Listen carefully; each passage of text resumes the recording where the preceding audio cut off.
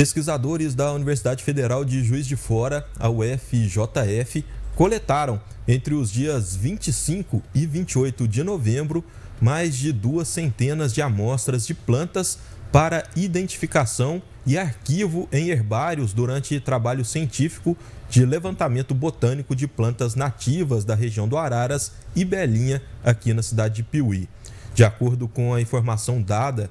pelo movimento Amigos do Araras e Belinha, veiculada né, e veiculada pelo jornal Alto São Francisco, a missão científica liderada pelo curador do herbário da UFJF, o professor doutor Vinícius Antônio de Oliveira, faz parte do processo da criação da área de preservação ambiental, a APA, Serras e Águas de Piuí.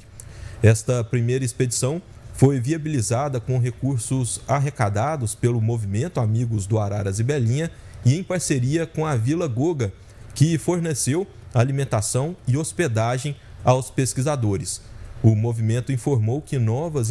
incursões devem ocorrer em breve a fim de concluir os estudos técnicos necessários para a criação da APA Serras e Águas. Em nota, o engenheiro ambiental Igor Messias da Silva informou que esta é a maior campanha de identificação das plantas nativas da história de Piuí, que, segundo ele, sempre foi tradicional região de pesquisa para áreas ligadas à geografia e geologia, mas nunca à botânica, o que aumenta muito as chances de se encontrar espécies raras e ameaçadas de extinção ou até mesmo variedades novas de plantas. O engenheiro ambiental ainda afirmou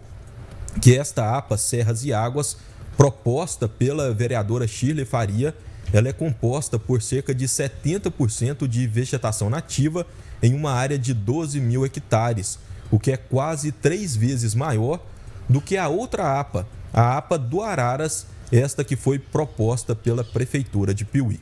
Esta segunda APA, a APA do Araras, proposta pela Prefeitura, ela já está com um edital aberto para a contratação de empresa pelo município para a elaboração do diagnóstico dos aspectos naturais da microbacia do Ribeirão Araras, além do plano de manejo e consultoria sobre a instalação da reserva ecológica. A licitação está agendada para o dia 9 de janeiro de 2024.